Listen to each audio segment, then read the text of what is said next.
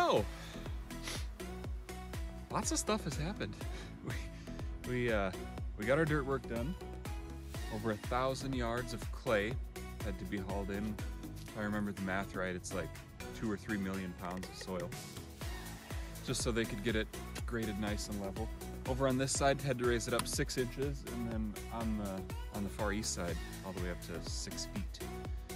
So, a whole lot of dirt work to be done, um, but it's done. And the septic tank has been installed, and a giant ash tree fell over, and a giant pile of soil has been left for us to work with, which is kind of nice. LP tank got delivered, and uh, we're getting right up on go time for, for getting stuff done.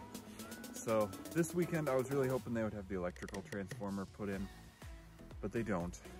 Um, I brought down all of the components for temporary power and then I'll be marking out the distance that we need to buy for our URD, which is the underground electrical conductors that will be trenched from the transformer to the house. And then marking out for the LP lines to go underground. Um, figuring out where our septic hookup is and maybe dig down and have that exposed so when the time comes, we can run our septic lines straight to the house, get that all marked out and good to go. But it's kind of like the staging weekend because the next time I come down, we'll have our transformer put in, um, hopefully the concrete foundation laid out and then I can uh, start the trenching and the under slab plumbing and the LP plumbing and just kind of of get moving. Man, there's a lot to do. Aha! I found it. Our uh, our hookup is right there, so I have to dig down right here quite a ways in order to get to the hookup.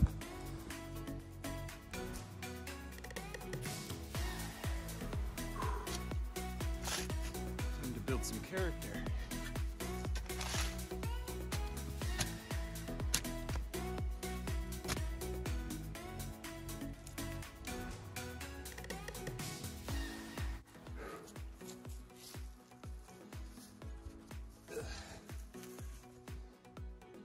So, spoke to our local electric co-op about how the uh, LP would get hooked up to the building.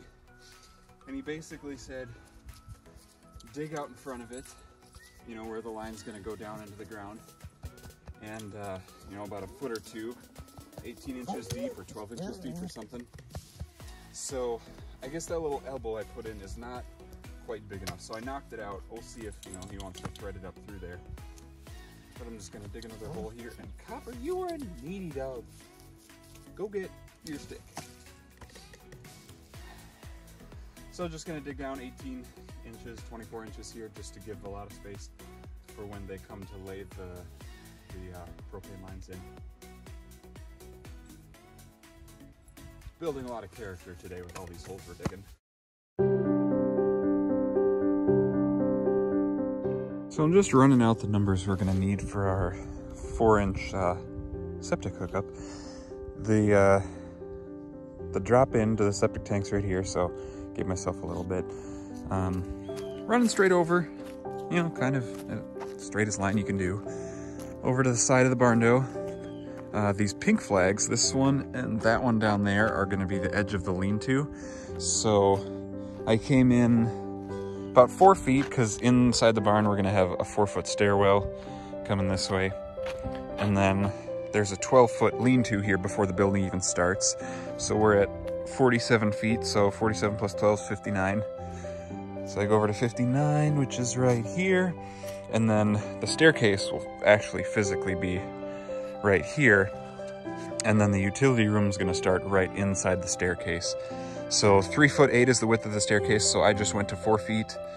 Um, that leaves us at 63, and then somewhere, I, you know, not exact measurements or anything, but somewhere in here is gonna be our main drain down into the ground, out to the septic that way. So we're sitting at 63 feet, you know, just kind of calculating how many sticks of, uh, of PVC we're gonna need. So, you know, probably gonna go a little bit safe and get 70 feet or 80 feet. You can always return pieces you don't use, so.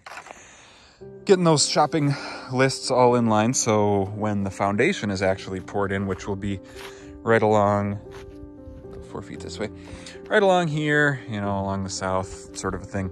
That way, you know, we can trench this all out and then have our stub up through the concrete for our septic.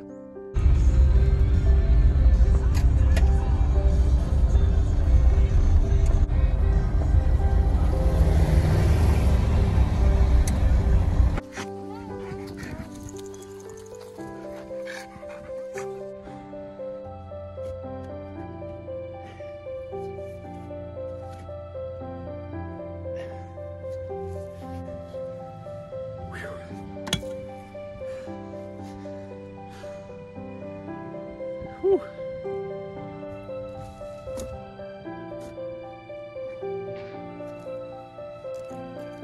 Hi, Copper. Come here. Hey, it's okay. It's okay. So, I found, I found our sewage line. I'm down about this far. This is at about shoulder level, so I'm about five feet deep. And it looks like they they bedded this on top of some, I don't know, inch and a half, two inch red rock. But now, I'm sure this goes out, you know, eight or 10 feet or whatever, but I can tap in right here since this is where I dug the hole. I just have to dig around it, you know, enough that I can get a PVC fitting on there. And then next time I come down, we'll trench over to the foundation and get that all set to go, but this has been a bit of work. We're, we're pretty deep down here. So I'll clean up the rest and get to it.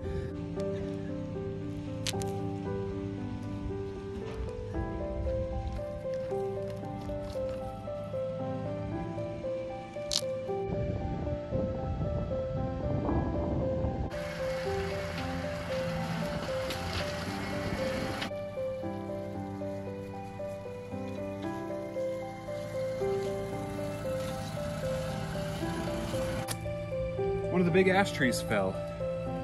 Sometime after they did the septic and now because it's laying on top of the dirt work they did for it we had three days where 50 mile an hour sustained winds from the south and this tree fell to the north. So i'm kind of guessing that was it. I'm not going to get it all cleaned up this weekend but i'd like to at least clean it up a little bit. This middle section could make a lot of really cool slabs of wood. So um, I'm gonna trim that all up and kind of make a few cuts here.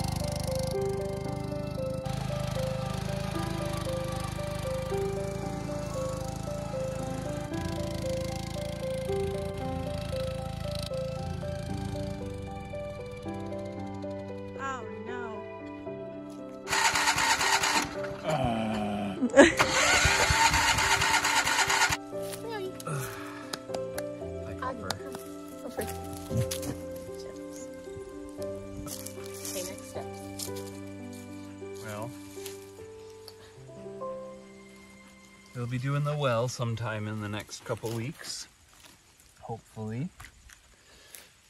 Sometime this week, South Central showing up, putting in the transformer. Hopefully they'll start on the foundation this week or next, digging that out, and then pouring the footer walls. Then that has to cure for seven days.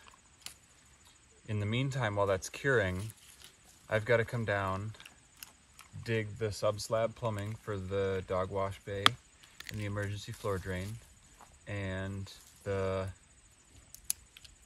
stub up for the septic, and then hook on to the where they punch through the wall, the foundation wall with septic, and then hook that up.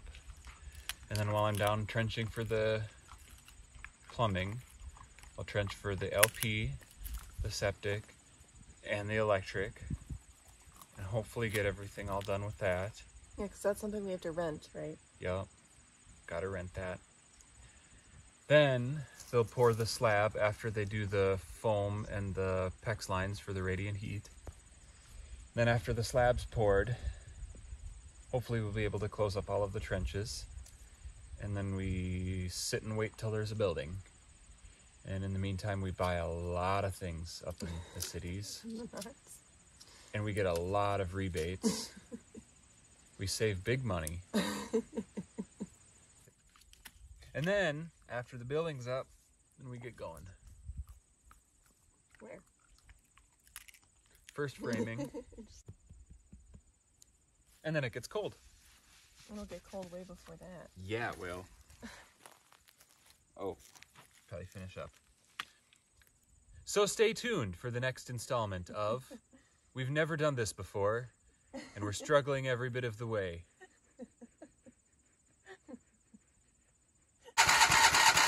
Ah.